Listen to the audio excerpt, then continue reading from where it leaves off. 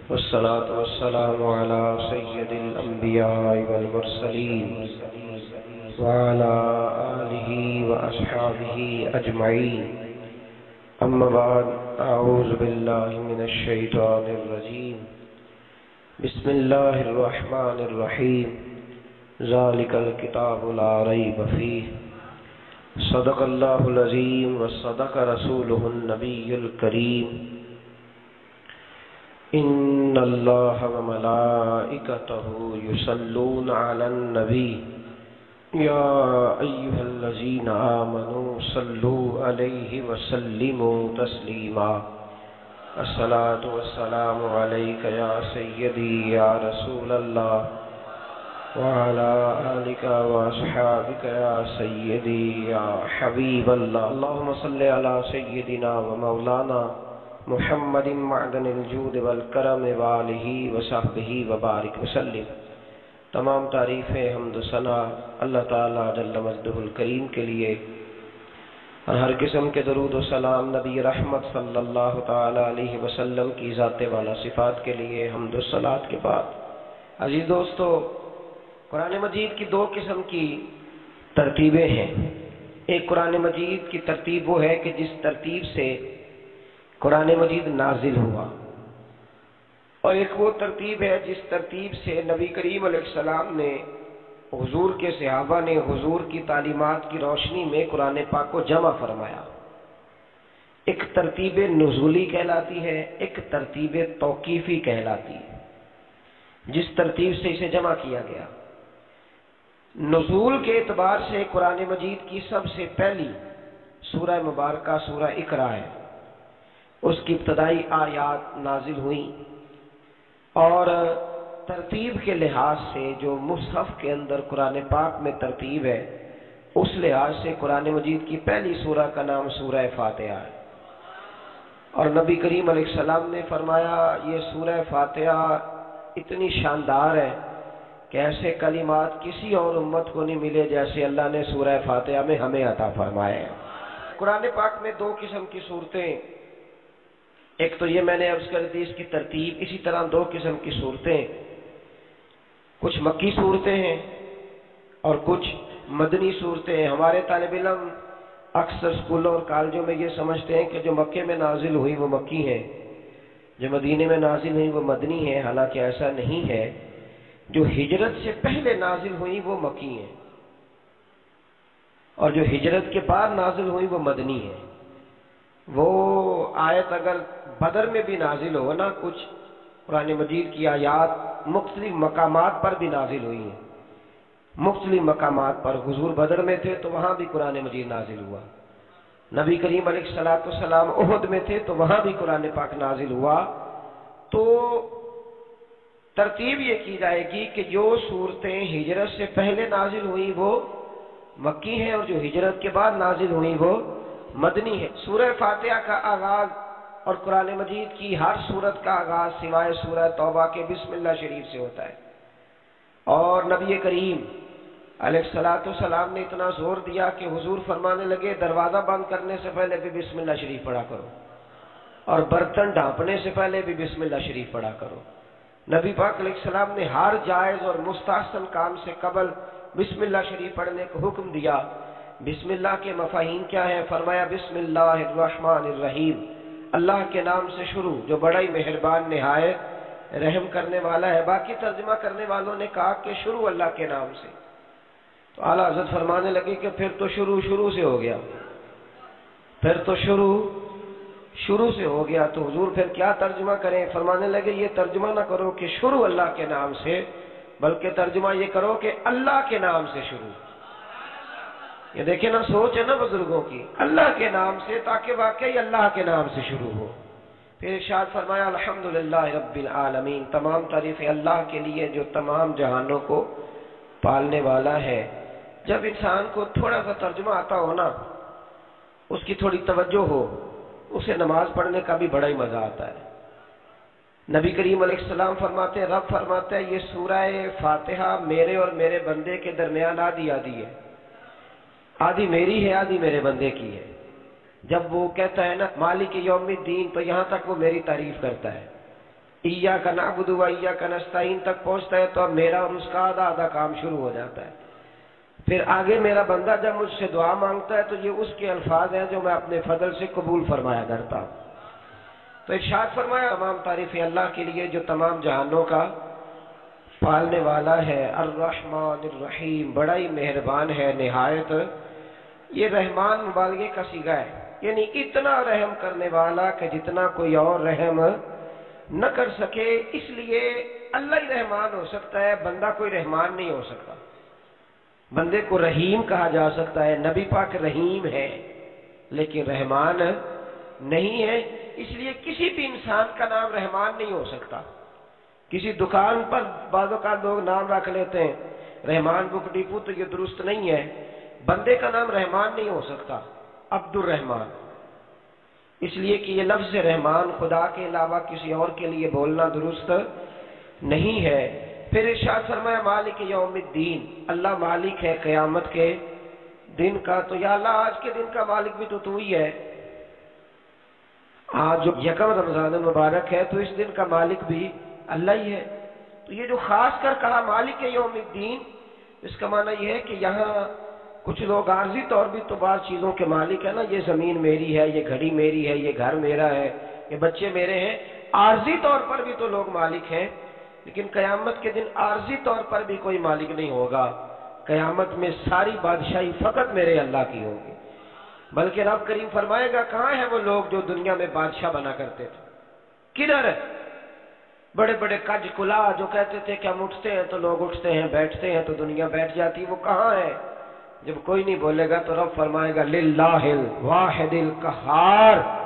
आज एक रब वाहिद और कहार की हुक्मरानी है। फिर इशाद फरमाया का नाबुदू व का नस्ताइन बेशक हम तेरी ही इबादत करते हैं और तुझी से मदद चाहते हैं। इबादत भी अल्लाह की है और मदद भी, ये जो बंदों के ज़रिए बाज़ात मदद होती है तो ये मदद भी अल्लाह की है। ये मदद भी अल्लाह की है। ये किसी बंदे ने माइक बनाया है जिसकी मदद से आप तक आवाज़ जा रही है तो उसको अकल किसने दी थी बनाने की? तो फिर मदद किसकी हुई? अल्लाह की। तो दुनिया में कोई भी जो मदद करता है, वो अल्लाह के वली करे, नबी करे, पैगंबर करे तो मदद किसकी है? अल्लाह की इसलिए कि वो जाती तौर पर कुछ भी नहीं कर सकते। अगर अल्लाह उन्हें तोफीक न दे, वो किसी की मदद नहीं कर सकते।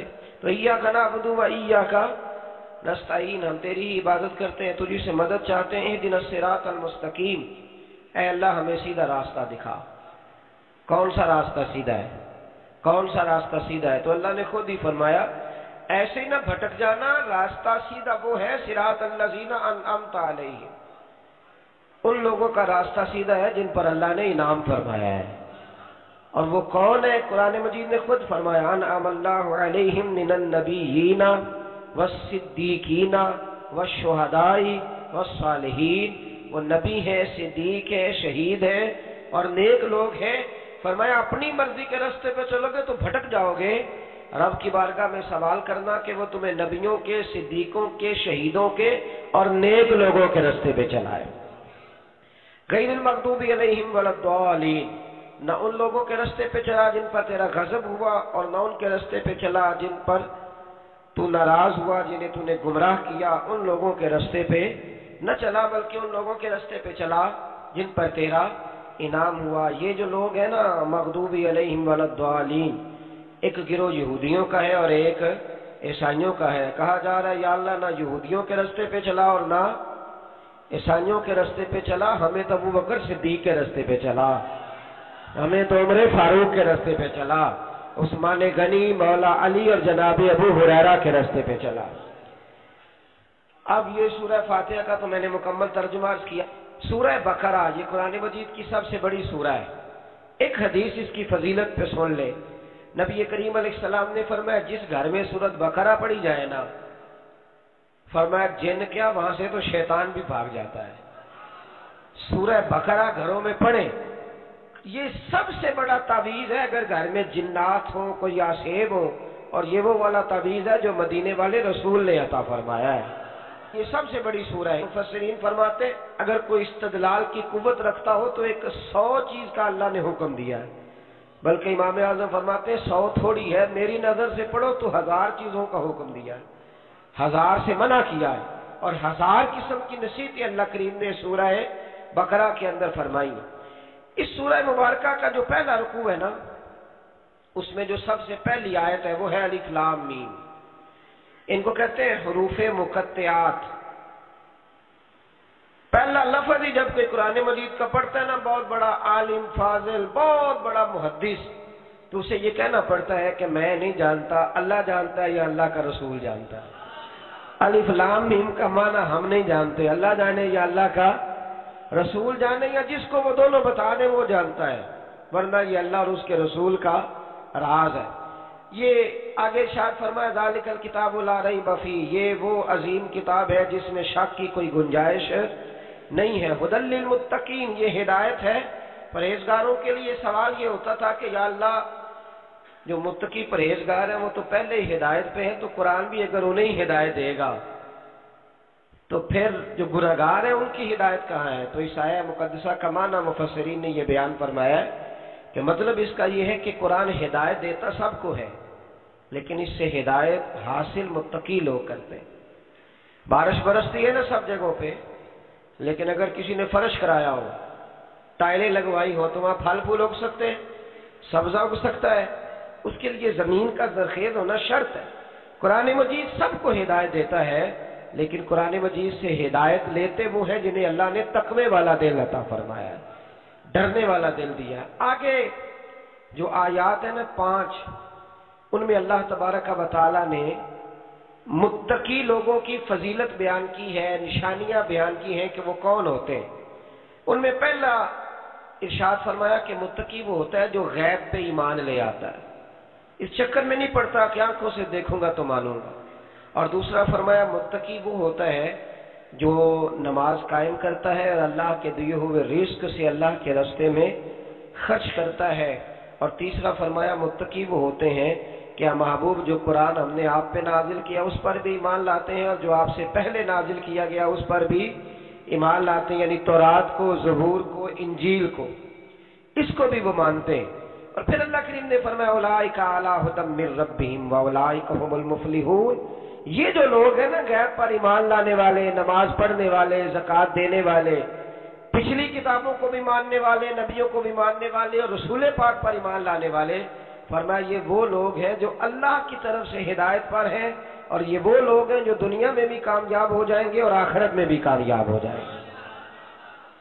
फिर आगे ना अल्लाह तबारक का वाली ने कुफार का ज़िक्र फरमाया है, तीन आयात के अंदर। मोमिन के बाद दूसरा दर्जा किसका है? ज़िक्र में काफिर का। पहले बात हुई पाँच आयात में मोमिनों की। अब तीन आयात में ज़िक्र किया गया पक्के काफिरों का।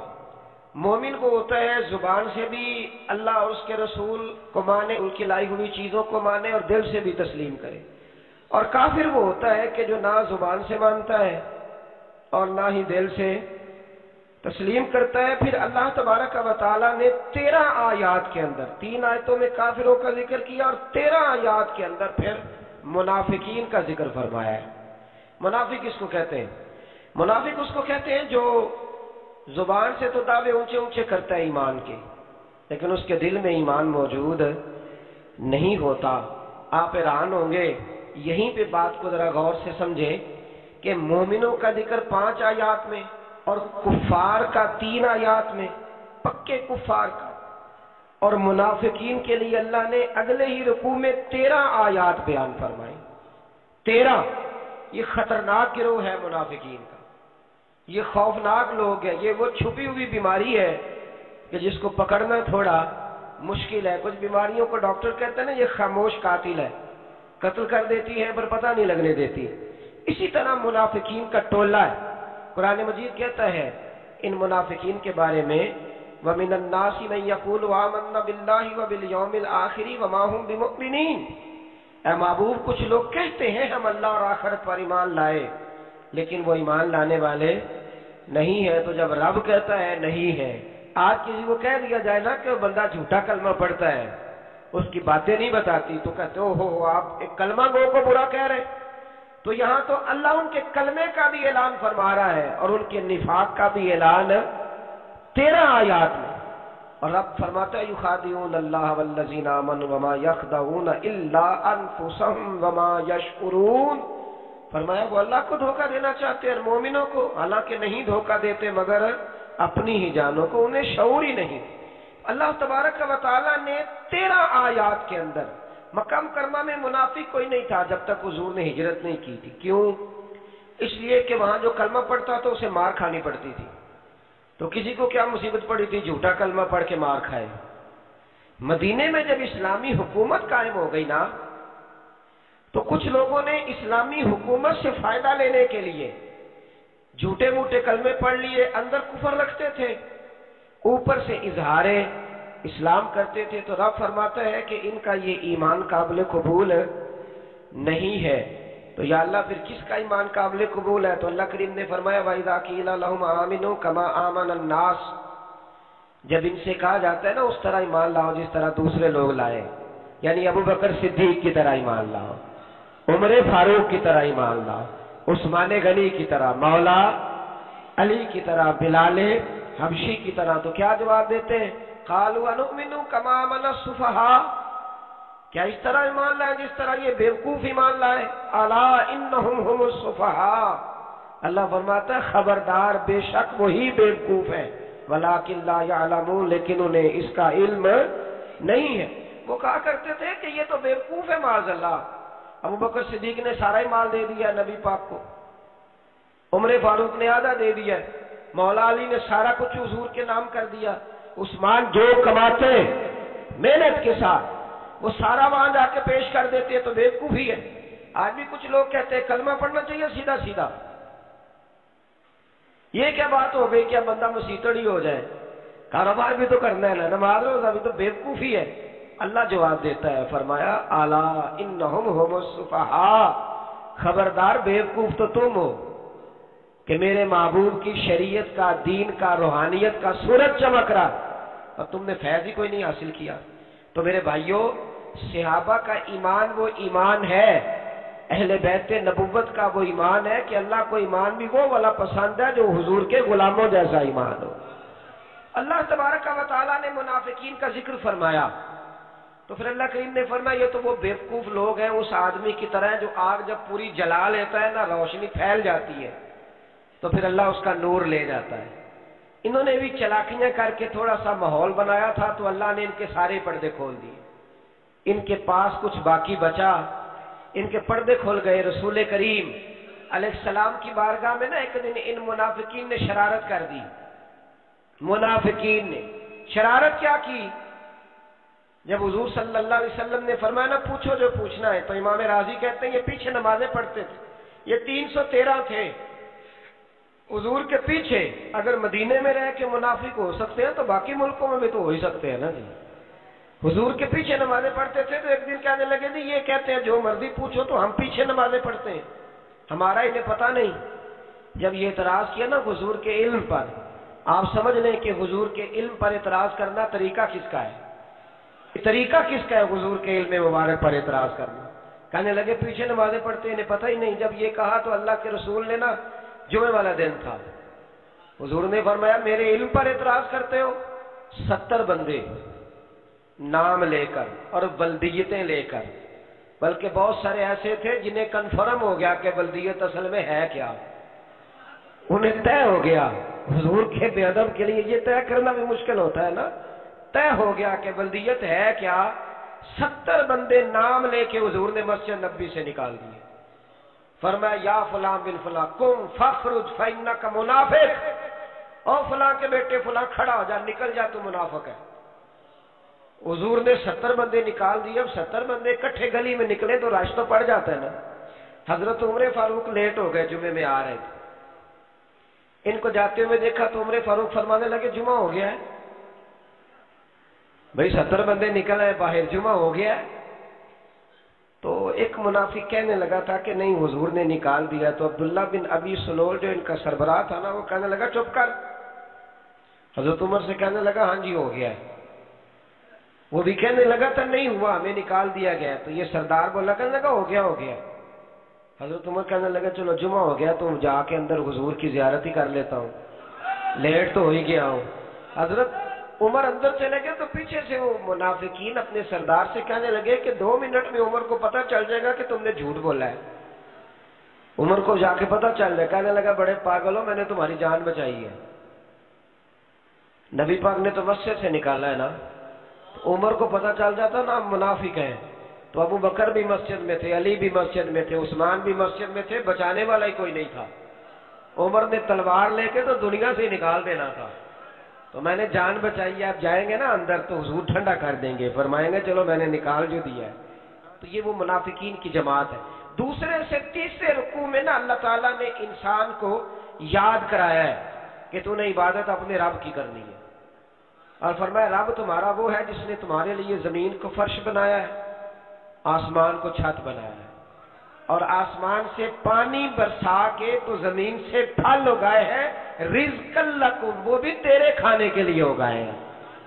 वो जो आसमान से बारिश बरसा के ज़मीन से सब्जा और फल उगाए हैं तो वो भी तेरे लिए, जब सारा कुछ तेरे लिए बनाया तो तू भी तो इबादत करना अपने रब की। फिर किसी को उसका शरीक ना ठहरा, एक चैलेंज भी किया कुरान मजीद ने इस रुकू के अंदर। कहा करते थे मक्के के लोग कि आप कुरान मजीद की आयतें नबी करीम सलाम से कहा करते थे कि माजल्ला खुद बनाते हैं। बना बना के लाते हैं। तो अल्लाह करीम ने फरमाया तुम फ़ी रही बिन मिम्मा नजलना अला फातू मिसली अगर तुम्हें शक हो ना, इसमें जो हमने बंदा खास पे नाजिल किया है तो तुम भी इस जैसी एक सूरत बना के लाओ। पढ़े लिखे तो तुम भी हो ना, मक्के में तुम भी रहते हो तो एक सूरत बना के लाओ। कुरान मजीद हमसे छीना गया है साजिश के तहत। इसलिए कि जिस कौम को कुरान आ जाता है ना, फिर कोई काफिर उसका मुकाबला नहीं कर सकता। देखे ना, अगर काफिरों के पास जवाब होता कुरान पाक का तो बदर और रोहद में ना कोई आयत बना के लाते, कुरान के मुकाबले की तलवारें लेके ना आते। उनके पास जवाब ही नहीं था। और कयामत तक किसी काफिर के पास कुरान मजीद का कोई जवाब, कुरान का कोई जवाब कसम अल्लाह की जवाब कोई नहीं कुरान का। इसका कोई जवाब नहीं। क्या बात है कुरान पाक वो एक दफ़ा मुसलमान का कजाब बेईमान कहने लगा, मैंने बना लिया कुरान पाक का जवाब। महाजल्ला जवाब क्या बनाया? वो सूरत है ना अलकारिया तो मलकारिया ममादरा का मलकारिया, खड़खड़ाने वाली क्या है? खड़खड़ाने वाली तुम्हें क्या पता क्या है? खड़खड़ी क्यामत का ज़िक्र है? कहने लगा, मैंने इस जैसी सूरत बना लिया तो क्या बनाया? अलफील मलफील। वमादरा का मलफील कहने लगा थी तुम्हें क्या पता क्या थी तुम क्या जानो क्या आती? तो पास जो उसके अपने बैठे थे ना चेले कहने लगे, चुप कर जा, सारे जमाने को पता आती क्या होता है। तो पागल है, उसके दो कान होते हैं, एक सूंड होती है, चार उसके पैर होते हैं, बेवकूफ़ आदमी, कुरान का मुकाबला करना है तो वो चज के साथ कर पागलों की तरह मुकाबला करेगा, जूते खाएगा भी, हमें भी पढ़वाएगा। तो कुरान मजीद का कोई मुकाबला कर सका तो इस आया मुबारक में अल्लाह ने काफिरों को यह कहा अगर मुकाबला नहीं कर सकते तो फिर अल्लाह से डरो, वरना दोजख में डाले जाओगे वो जिसका ईंधन, आदमी और पत्थर है, और बनाई भी काफिरों के लिए गई है। और इद्दत काफिरीन, जहन्नम किसके लिए बनाई गई है? काफिरों और मुनाफकों के लिए, मुसलमानों के लिए बनाई गई। मुसलमान मर्ज़ी से छलांगे लगाए तो इनकी मौज है, वरना इनके लिए जहन्नम, इनके लिए अल्लाह ने जन्नत बनाई है। और ये बात करते ही रब करीम ने फरमाया, ए महबूब सलाम, मोमिनों को खुशखबरी दे दे कि अल्लाह ने उनके लिए जन्नत बनाई है, उसमें बागात हैं, उन्हें रिस्क दिया जाएगा खाने के लिए और उसमें उन्हें पाकिजा बीवियाँ दी जाएँगी और फिर वो उसमें हमेशा रहेंगे, उन्हें उससे निकाला नहीं जाएगा। आगे जो आयात करीमा है ना, उसके अंदर अल्लाह तबारक वाली ने फरमाया है कि अल्लाह हया नहीं करता समझाने के लिए मच्छर की मिसाल भी देनी पड़े। फरमाया, कुरान से कुछ लोग हिदायत हासिल करते हैं कुछ गुमराह हो जाते हैं। जब लोग अपनी मर्ज़ी की तशरीहात चाहते हैं तो गुमराह होते हैं। और जब कुरान को रसूलुल्लाह सल्लल्लाहु अलैहि वसल्लम और उम्मत मुस्लिमा की तशरीहात की रोशनी में समझते हैं तो फिर अल्लाह हिदायत अता फरमाता है। फिर अल्लाह तबारक वाली ने आगे इर्शाद फरमाया, हज़रत आदम की पैदाइश का कुछ मुफसरी ने लिखा, अल्लाह ने मशवरा किया था फरिश्तों से वही काल रब्बू का फिल अर्द खलीफा। लेकिन कुछ मुफसरीन कहते हैं कि अल्लाह को ज़रूरत नहीं फरिश्तों से मशवरा करने की। अल्लाह ने फरिश्तों से मशवरा नहीं किया, बल्कि रब ने उन्हें आगाह फरमाया था कि मैं लगाऊँ ज़मीन पे अपना नायब बनाने। मैं खिलाफत देने लगा हूँ ज़मीन पे। अब ये तो देने वाले की मर्ज़ी है ना, उसने किसको देनी है? ये तो देने वाले की मर्ज़ी है ना, उसने तो कुछ लोग कहते हैं कि देने वाले से ज़्यादा हमें पता है। तो फरिश्तों को भी ये इजतहादी खता हो गई, कहने लगे, या अल्लाह, इसे ना बनाना, ये फसाद करेगा, ये खून रेजियाँ करेगा। तो अल्लाह ने फरमाया, जो मैं जानता हूँ, वो तुम अल्लाह अकबर। इमाम राज़ी फरमाते जब रमज़ान आता है तो अल्लाह फरिश्तों से कहता है ये खोल के दरवाजे देखो ना, ये ज़मीन पे क्या कर रहे हैं? तुम तो कहते थे, फसाद करेंगे और ये सारे तरावियाँ पढ़ रहे हैं।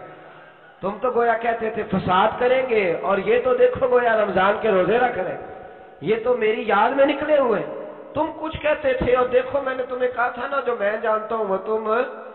अल्लाह ने फिर हज़रत आदम सलाम को तमाम जमाने के उलूम अता किए। इल्म सिखा लिया तो फरिश्तों से कहा, तुम भी इन चीज़ों के नाम बताओ तो वो बता सके। नहीं। अल्लाह ने फरमाया, अब इस तरह करो, आदम को सजदा करो। सबने सजदा किया, सिवाय वो कहने लगा, या अल्लाह, सिर्फ़ तुझे ही करना है।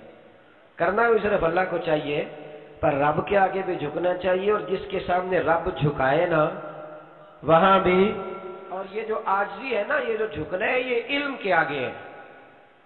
हमारी मुसीबत ये है कि हम इल्म के आगे भी गर्दन झुकाने को तैयार है। नहीं होते, वहाँ भी हम खुद आलिम, फाजिल बन जाते।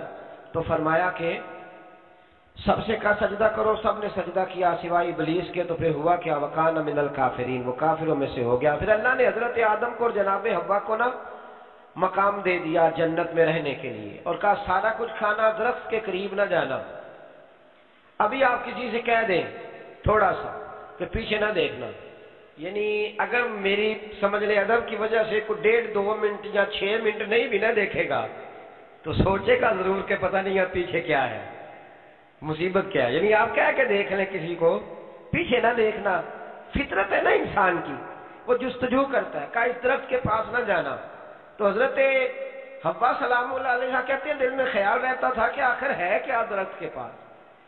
यही इंसान का अकीदा है, तोहीद है कि जहाँ से रब मना कर दे, वहाँ वो मना हो जाए। और ये उनकी खता नहीं थी। ये अल्लाह की हिकमत थी, चूँकि रब ने तो पहले कह दिया था, बनाया ही ज़मीन के लिए। तो ये तो सारा कुछ होना था तो ज़मीन पे आना था ना? तो हज़रत हब्बा और जनाब आदम के पास शैतान आया, अब उसको निकाल तो दिया था, पर अभी उसका जन्नत में आना जाना बंद नहीं हुआ था। ये भी अल्लाह की हिकमत थी। तो वो कहने लगा, तुम्हें पता है बाद में मर जाओगे? तो हज़रत अब्बा कहने लगी, क्या मौत भी आएगी? कहा? उसकी तकलीफ़ भी बड़ी होगी तो फिर बचेंगे कैसे? तो कहने लगे, फल खा लो उस दरख्त का। तो बचने के लिए फल खाया था। इस तरह लोग आज बहुत सारे काम बचने के लिए करते हैं, पर बच सकते बचने के लिए फल खाया तो अल्लाह ने फरमाया, ज़मीन पे चले जाओ। तो हज़रत आदम ज़मीन पे आए। फिर कई सौ साल रोते रहे। फतलक्का आदम में रबी ही कलीमात। तो फिर अल्लाह ने खुद ही जनाब आदम को कुछ कलमे सिखाए। अल्लामा इसमें लक्की फरमाते हैं, वो कलमे ये थे कि हज़रत आदम ने मेरे नबी का वसीला पेश किया। अल्लाह करीम ने जनाब आदम की दुआ को मकबूल फरमा लिया। फिर आगे बनी इसराइल का ज़िक्र आ जाता है। अल्लाह ताला ने बनी इसराइल, आज आप उसी कौम को यहूदी कहते हैं। इनको अल्लाह ने उस जमाने में फजीलत अता की थी बहुत ज़्यादा। तो अरब के अंदर जब नबी पाक सलाम ने लाने नबूवत किया तो कुछ लोगों ने यह कह दिया कि अगर ये यहूदी कलमा पढ़ लेंगे तो हम भी पढ़ लेंगे। तो फिर अल्लाह ने इन्हें याद कराया कि तुम असल में क्या हो, तुम्हें कलमा पढ़ना चाहिए। तो अहले यहूद का तस्करा करते करते रब करीम ने एक बात ये भी इर्शाद फरमाई कि तुम लोगों को तो कहते रहे हो कि वो नबी आने वाले हैं, वो नबी आने वाले हैं। और जब आ गए हैं तो मानने को तैयार नहीं हो तो फरमाया वतन सऊन तुम किताब लोगों को भलाई का हुक्म देते हो और अपने आप को भूल जाते हो। अफला कि तुम्हें अकल नहीं? फिर अल्लाह ने उन्हें यह भी याद कराया कि याद करो वो जमाना कि जब फिरौन ने ख्वाब देख लिया था कि कोई बच्चा उसकी सल्तनत को तबाह करेगा तो फिर उसने तुम्हारे बच्चों को जिबा कराना शुरू किया और तुम्हारी बेटियों को छोड़ता था। पर मैं ये भी तो तुमने देखा, मैंने तुम्हें फिर तुमसे कहा, जिहाद करो। कौम अमालका के खिलाफ तो मकाम तिया में जाके ये लोग कहने लगे, हमसे जिहाद नहीं होता। अल्लाह ने इन्हें एक मैदान में कैद कर दिया, बड़ी दिलचस्प बात। कैद तो लोग होते हैं ना चार दीवारी में तो अल्लाह ने बनी इसराइल वालों को जब इन्होंने काम जिहाद नहीं करेंगे तो अल्लाह ने मैदान में कैद कर दिया। मैदान में, ये याद रखें, जब इंसान अल्लाह की नाफरमानी करता है तो उसे ऐसी कैद मिलती है, जिसका उसने तस्वुर भी नहीं किया होता। एक मैदान है, मकाम तिया कैद हो गए। सारा दिन सफ़र करते थे। सारा दिन। तो रात को थक के सोते थे, सुबह उठते थे ना, जब तो वहीं होते थे, जहाँ कल सुबह चले थे। तो रब जब किसी को कैदी बनाते हैं तो उसे जंजीरों की, सलाखों की ज़रूरत है। दुआ फरमाए, अल्लाह तबारक वाली गमों से निजात अता फरमाए। ये दुआ फरमाए। ऐसी कैद देता है कि जिससे फिर छुटकारा हो सकता। तो बनी इसराइल का बहुत ज़्यादा तस्करा इस बारे में अल्लाह तबारक वाली ने फिर बयान किया और फिर कहा कि इन्हें जो हुक्म दिया जाता था, ये उसकी सरताबी करते थे। फिर अल्लाह ने इन पर जिल्लत नाजिल कर दी और ये हमेशा उसका शिकार रहे। कौम सख्त का ज़िक्र फरमाया अल्लाह हफ़्ते वाले दिन कुछ लोग नाफरमानी करते हमारे भी हीले बहाने ना आजकल कारोबार में। तो इसी सिपारे की आयत नंबर पैंसठ के अंदर अल्लाह ताला ने हज़रत दाऊद की कौम का ज़िक्र किया कि अल्लाह ने उन्हें हुक्म दिया था कि हफ़्ते वाले दिन मछलियाँ नहीं पकड़नी। तो वो कहते थे, चलो हाथ लगा के नहीं पकड़नी। हाथ लगा के। वो हमारे लोग हीले बहाने तलाश कर लेते हैं ना। वो बड़े जनाब इंश्योरेंस वाला आ गया अब अब वो बैंक वाला आ गया, वो फलाने साहब आ गए। वो तरोड़ मरोड़ के कहानियाँ, बातें और फिर हमें भी रस्ते मिल जाते हैं बचने के, मुफ्ती साहब ने कह दिया था। ओ, एक मौलाना से मैंने, इनको कहा हफ़्ते वाले दिन मछलियाँ नहीं पकड़ने का, नहीं पकड़ते छोटे छोटे हौज बना लिए। तो मछलियाँ ज़्यादा आती थी उस दिन, ये भी अल्लाह की कुदरत थी।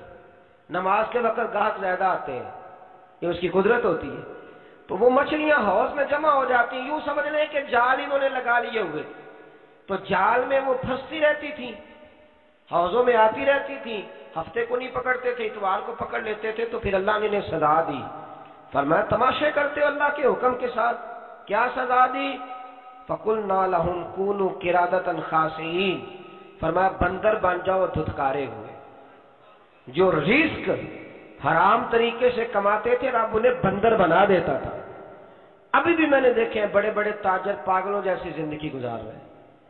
नफसियाती तौर पे सुकून नहीं है, करोड़ों रुपया पड़ा है। क्यों?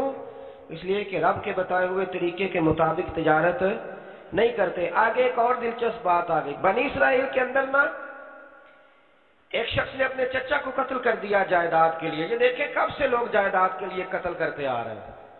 चचा को कत्ल कर दिया और कत्ल करके हज़रत मूसा सलाम के पास आए कि मेरे चचा को किसी ने कत्ल कर दिया है तो बताएँ क्या करना है? तो आपने फरमाया कि गाय जिबा करो। और उसका एक टुकड़ा मकतूल को मारो, मरने वाले को, वो खुद उठ के बता देगा मुझे किसने कत्ल किया है।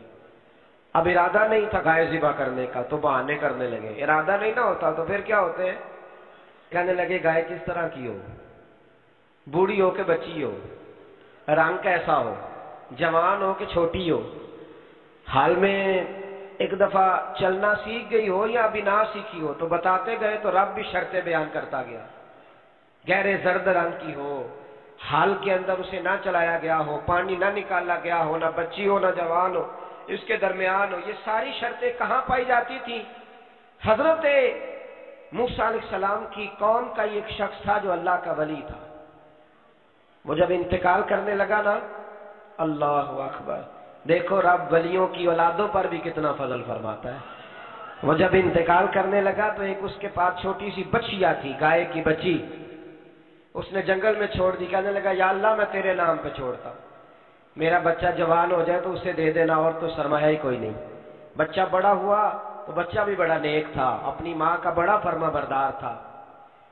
उसकी माँ ने कहा, बेटा, तेरे बाप ने एक गाय छोड़ी थी। तो बच्चा जंगल में गया जाके कहने लगा ए अल्लाह, मेरी गाय मुझसे मिला दे। तो रब करीम ने वो गाय वापस कर दी। वो गाय घर ले आया। अब वो कहने लगा, अम्मा, बेच दू? तो अम्मा कहने लगी, बेटा, मेरे पूछे बगैर ना बेचना।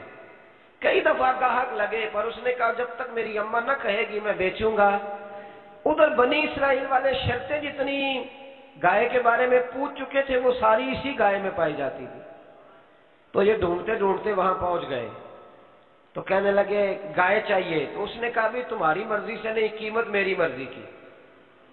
एक मुफसर ने तो यहाँ तक लिखा है कि उसने कहा, गाय जीवा करके ना तो जितना गाय के अंदर गोश्त होगा ना, उतना ही खाल के अंदर तुम मुझे माल भर के दोगे।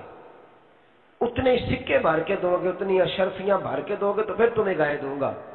तो फिर ये गाय उन्हें मिली और ये गाय लेकर के आए।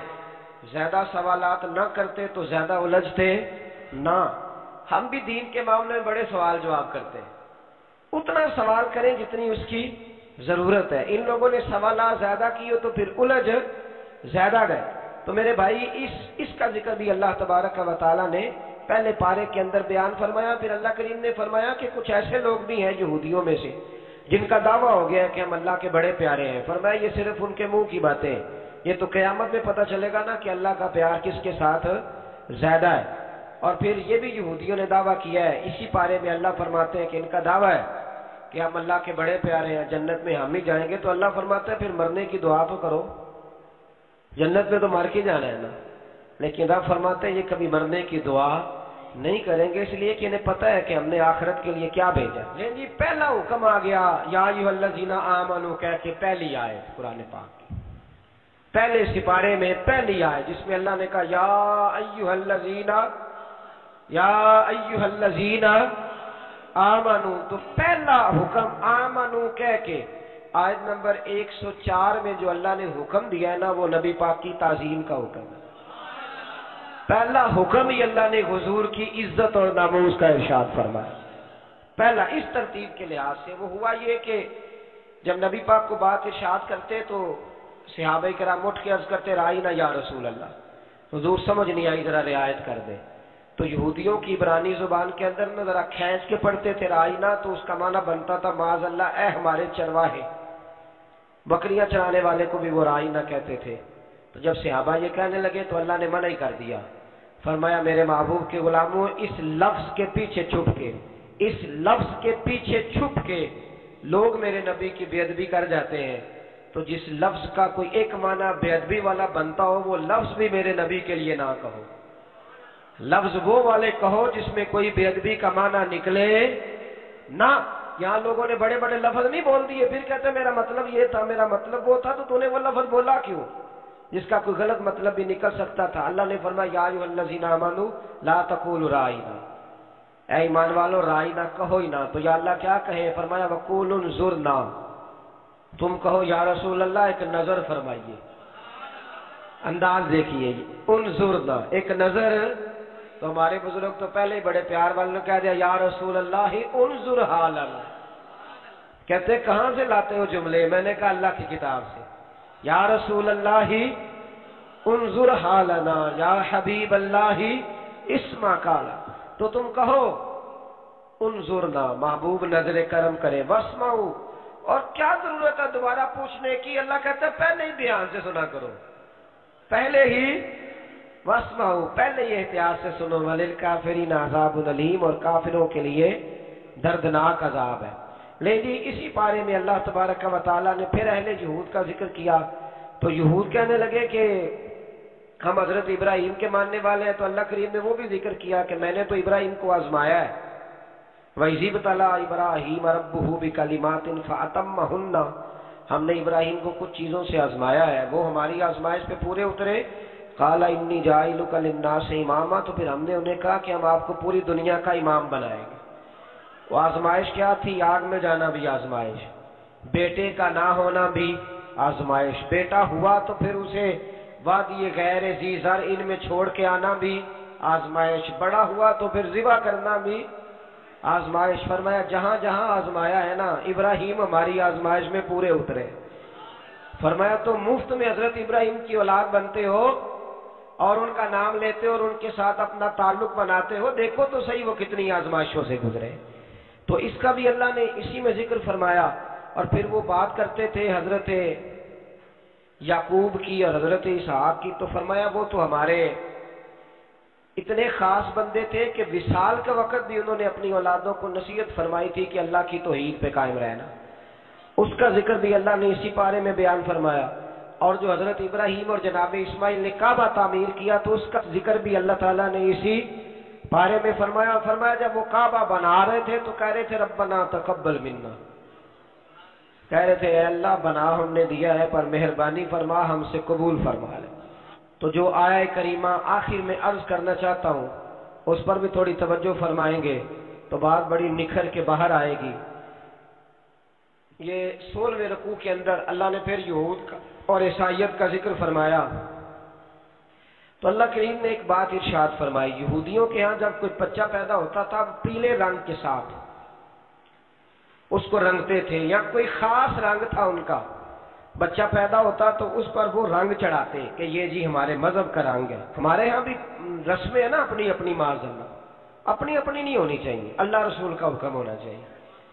तो यहूदियों के यहाँ बच्चा पैदा होता तो एक खास रंग चढ़ाते ईसाइयों के यहाँ पैदा होता तो वो भी एक खास रंग चढ़ाते तो मुसलमानों के यहाँ बच्चे पैदा हुए तो उन्होंने भी तवज्जो की कि ये क्या हो रहा है? तो रब करीम ने फरमाया सिबगत अल्लाह। रंग अल्लाह का ही है। वमन अक्सन मिन अल्लाह सिबगार फरमाया, अल्लाह के रंग से ज़्यादा खूबसूरत किसका रंग हो सकता है? अल्लाह का रंग क्या है? ला इलाहा मुहम्मद रसूलुल्लाह। सल्लल्लाहु अलैहि। फरमाया, नीले, पीले, काले रंग ना चढ़ाओ, अपने जहन पर तोहीद और रिसालत का रंग चढ़ाओ। ये सबसे बेहतरीन रंग है। अगर तुम्हारे जहनों पर रब रसूल की तोहीद का रंग चढ़ गया तो ये वो वाला रंग है, फिर तुम्हें किसी और रंग की तरफ़ जाने की ज़रूरत नहीं पड़ेगी। तो फरमाया, रंग वो पैदा करो जो तोहीद का है, रिसालत का है। उस रंग की तवज्जो करो। कुरान मजीद के इस बारे में अल्लाह करीम ने मुख्तलिफ़ बातें बयान करके आखिरी रुकू में ये जो रंग का ज़िक्र फरमाया ना तो ये लगता है पूरे पारे का खुलासा है। कि रब करीम ने फरमाया, असल बात यह है कि तुम्हारी सोचों पे रब रसूल की तोहीद और रिसालत का रंग होना चाहिए। हर वक्त बच्चा पैदा हो को दुनिया से जाए तो रंग किसका होना चाहिए? अल्लाह रसूल के दीन का। अल्लाह ताला हमें समझने की तोफीक अता फरमाए। आखिर दावा अनिल